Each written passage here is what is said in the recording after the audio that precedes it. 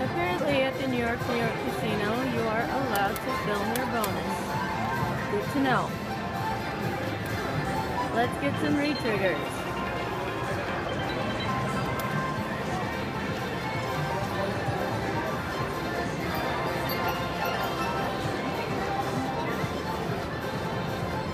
Or full screen would be good. Of beer mugs.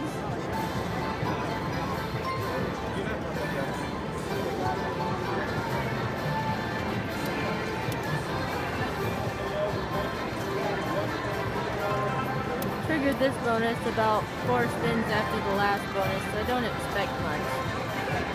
But 30 spins, that's pretty nice.